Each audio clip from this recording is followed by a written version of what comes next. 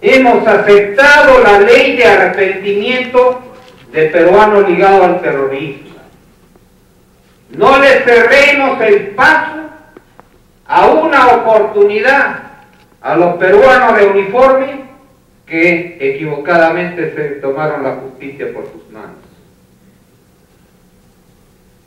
Espero que pronto alcanzaremos la paz a través de la comprensión, no justificación, para que podamos por fin terminar de despegar como país.